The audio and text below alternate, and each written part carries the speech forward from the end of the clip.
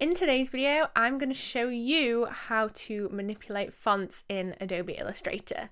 Let's go. My name is Alice Thorpe and I like to create things. Today, I'm going to show you how to manipulate fonts and make them look however you want them to.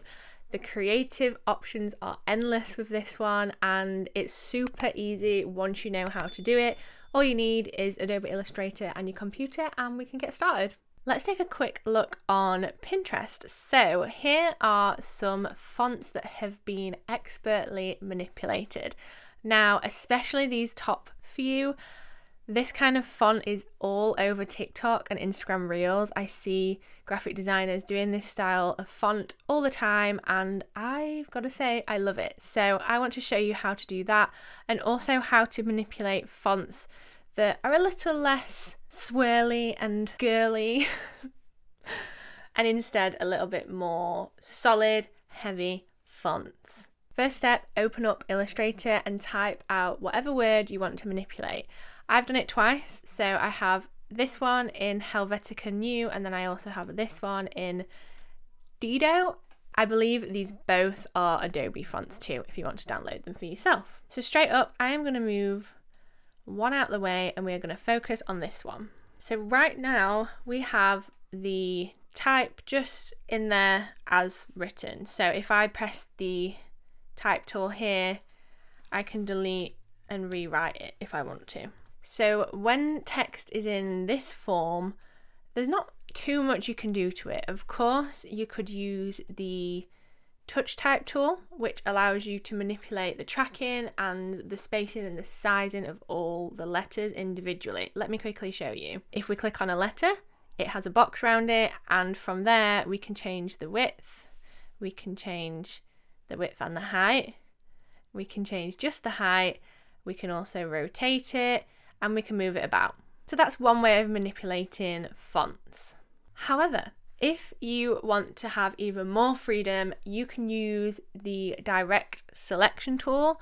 And in order to do that, you need to create outlines. So, two ways of doing this you can either right click on your font, go down here, and click create outlines, or you can go up into the menu at the top, select type, and again create outlines. When you do this, it turns each letter into a vector. Let's try it. There we go. Now, if I zoom in, and I get rid of the fill colour, you will find that all the letters have been outlined in paths. These are now editable. So let's try the direct selection tool. You'll find it up here on the toolbar. It's the sort of cursor that's filled in. You can either click that or you can press A on your keyboard and you will you'll get it with the shortcut. So if we zoom in, I have my direct selection tool on and I'm clicked onto the letter and you'll see in each corner there is a little square with a circle on the side of it. So because this is a sans serif font where it's all straight lines, quite blocky, quite modern looking, it means that there aren't too many anchor points, so it's a little more simple to change.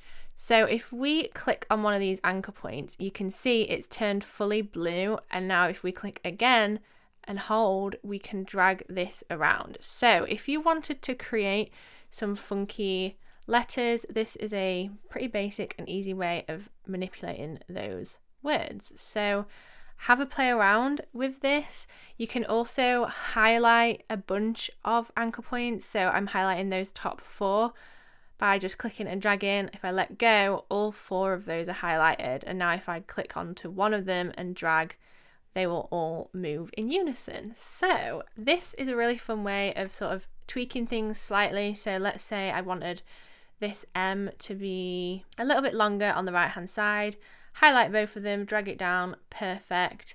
You can literally change and move whatever you like. It's completely up to you. Whilst we're here as well, if I just zoom in, you'll see that there are some little circles in those corners. These are little toggles that allow you to curve the corner. So if I click on one of them, again, highlights blue, drag it down and it will curve that corner.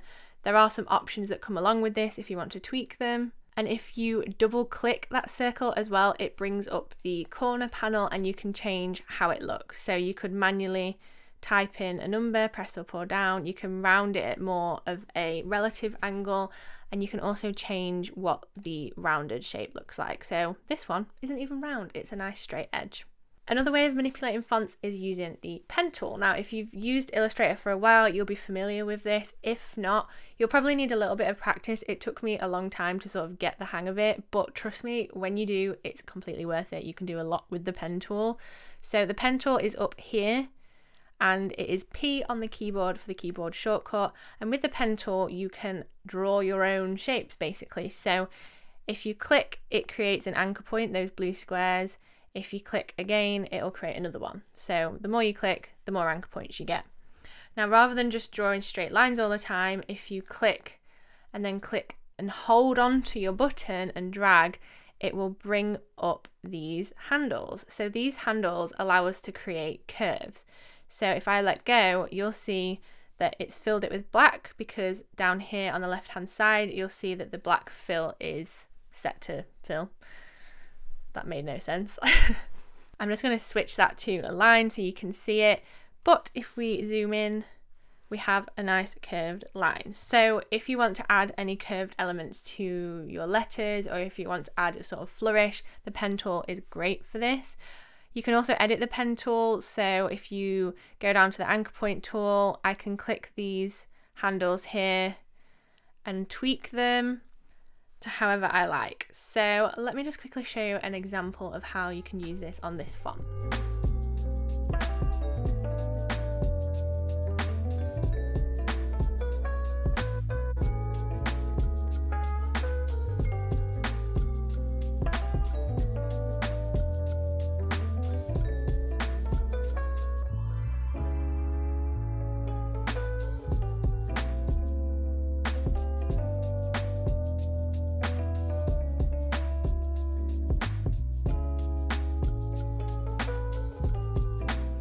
Then we have a manipulated font. This one, like I said, is super basic, straight sans serif font. I've kept the lines straight. I didn't want to overcomplicate it, but simply by using the direct selection tool and clicking those anchor points, I've been able to create a unique font that I actually think looks really cool. It reminds me sort of like the Monsters Inc. font.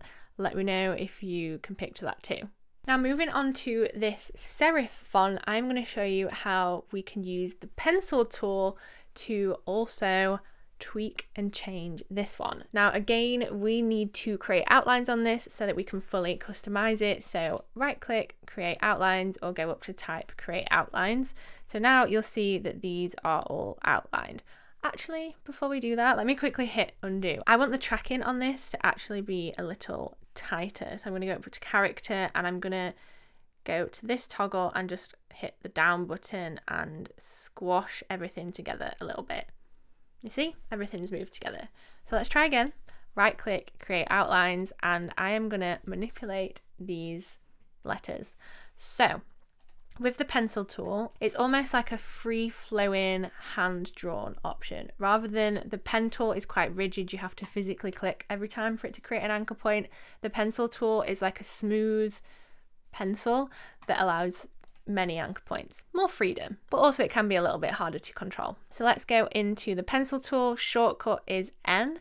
And if I just do a little demo up here, if I click and hold and do this little wiggly line, you'll see if I let go, it's created a bunch of anchor points and all of those anchor points have curves on them. So those handles we spoke about earlier, the pencil tool has done those automatically, so you don't have to click and drag like you would with the pen tool. An issue with the pencil tool is that it can be quite hard to create smooth lines, like if you're particularly shaky handed or if you're trying to follow something or have a particular vision, it can get quite difficult, but there is a way around this. So if you do a little pencil line like this and oh, I've done an accidental bump, didn't want that, I'm going to go back into the pencil tool. I'm going to click and hold it. And then just underneath is the smooth tool. So this is where we can have fun. We can really refine these shapes. So if I click the smooth tool and just simply paint over this, you'll see it starts to adjust things. Now, this is sort of trial and error. You have to play around with it. You might have to press undo sometimes, but that's the basic premise of the pencil tool and the smooth tool. Now, let's see that in action.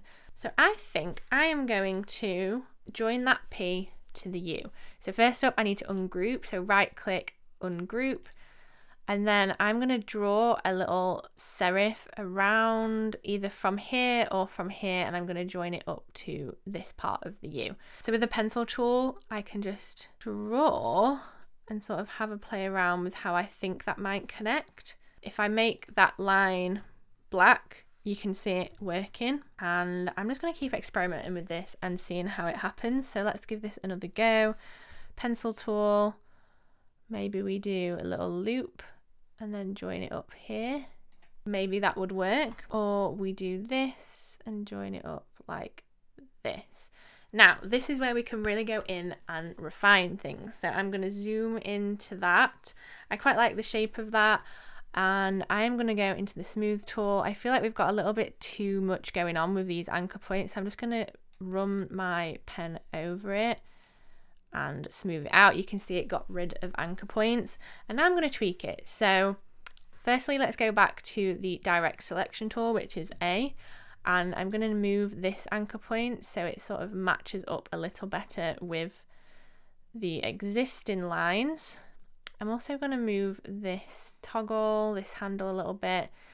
And if I go up into this corner, zoom in, I'm actually going to join this one up here and we're going to get rid of this straight part here. So in order to get rid, I'm just going to click the selection tool, which is V on your keyboard, and I'm going to actually get rid with the eraser, Shift E or this tool here. I'm going to erase this part.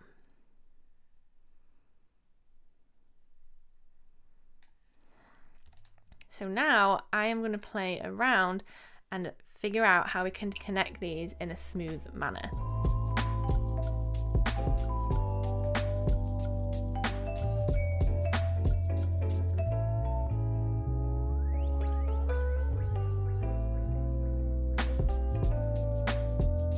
Okay, so I'm pretty happy with that, although there are some things I do want to change. I want to play around with the width of this stroke, especially at this end where it joins the U. So there is a tool called the width tool. Now the width tool looks like, it reminds me of a clown hat, I don't know why. It looks like this, it's Shift W on your keyboard, and the width tool allows you to manipulate the width. Who'd have thought? So as I drag my cursor over it, you'll see that the little icon next to it changed to a plus sign. So if I go up here, click and hold, you'll see that the shapes are moving. So by doing that, we can make small, subtle changes to this line. So uh, when it's a plus tool, it will increase. So you can really have some fun with this. You can create a thicker area, you can create a thinner area, and truly customize it to whatever it is that you have a vision for. So I'm just going to tweak this little bit slightly, maybe back to the direct selection and balance this out a little bit. We've got a little bit of a bump there, so I'm going to pull that handle a touch and I'm pretty happy with that. So, so we've gone from the pencil tool, we've drawn a quick little squiggle, we then went into the smooth tool, smoothed it all out, got rid of any excess anchor points, and now we've done the width, so it sort of fits the vibe we want to go for. I'm pretty happy with this, so what I'm going to do is I'm going to create outlines on this too. So this means I have now created a shape as opposed to a line. Let me show you. So if I go into object, path, and outline stroke, watch that line up here. You see this blue line? Watch that outline stroke. If I click that, it's now gone into a fully outlined shape. So if again I change it to white, you'll see there's a blue line around both edges of that curve. Now with this, it means I can go in and really refine those edges. So again, direct selection tool, A on your keyboard, and you can click and drag these individual parts of the shape. Just another fun way of adjusting these curves and lines to really, really make this your own. Same applies up here. So I can drag this. I'm to make that a little thicker. Take this handle. And there we go. So if we zoom out, you'll see that we've added that little flick. And actually, when zooming out, I think I want to make this one a little bit thicker. So let's go back in and I'm going to drag this anchor point out here just a touch. Now I'm just going to quickly go through and add some, some flair to this font.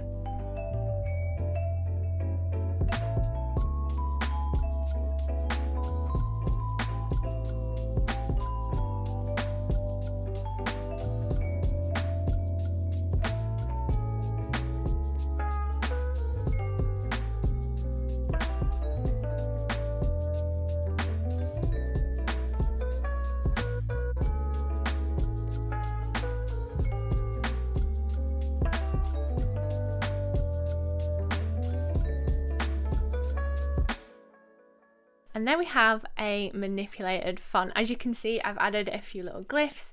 I could add more, I could change it, I could do less.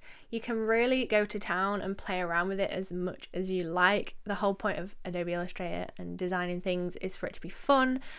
Now, before you go and export this, you need to make sure it's saved correctly. So at the minute, all these parts that I've added aren't connected at all. So we need to connect those and make sure they're correct. So in order to do this, I'm going to use the Pathfinder tool. You'll find the Pathfinder down here. For me, if you can't see it, go on Window and then scroll down to Pathfinder and make sure that's selected. And in here, there are various options, but the one we want to use today is this one, which is unite. So it creates a compound shape. Basically, it merges them all together, it flattens it.